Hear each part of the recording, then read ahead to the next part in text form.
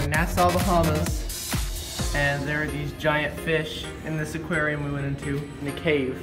So if you ever go to Atlantis, the water park in Nassau, Bahamas, I recommend going in the cave. It's really weird looking fish in there too.